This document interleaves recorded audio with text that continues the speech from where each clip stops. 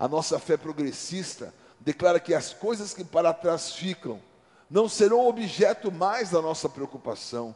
O Senhor deixou isso para trás, nós avançamos para as que estão diante de nós, nós prosseguimos para o alvo, nós temos uma soberana vocação. O Senhor nos escolheu para coisas maravilhosas e poderosas, e assim nós avançamos em nome do Senhor Jesus.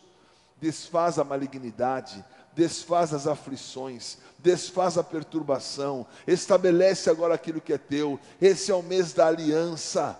Nós estamos aliançados com o futuro, não há alianças com o passado, não há alianças com a dor, não há alianças com a malignidade, não há alianças com a aflição. Desfaz mesmo em nome de Jesus. Marca o Manassés, coloca o tempo da aflição que termina e nos faz lembrar daquilo que nos traz esperança, daquilo que a tua vitória, a tua vida em nós.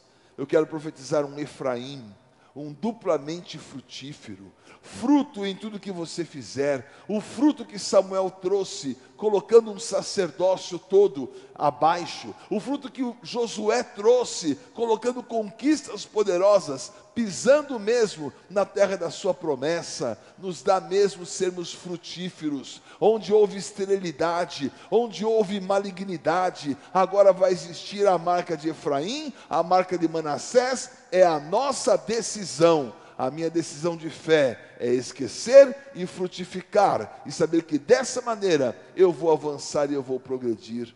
Abençoe os meus irmãos, que todas as marcas de malignidade sejam agora desfeitas, que decisões de fé sejam tomadas. Estabelecemos agora, para esse mês da aliança, a nossa decisão. Eu estou aliançado com o fruto, eu estou aliançado com a semente de Deus, eu estou aliançado com o cenário que Ele criou, e eu vou fazer parte de um povo vitorioso, daquele que recebe do Senhor decisões de fé, e obras de fé são manifestas a fé sem obras é morta, mas nós mostramos a obra antes de mostrar a fé.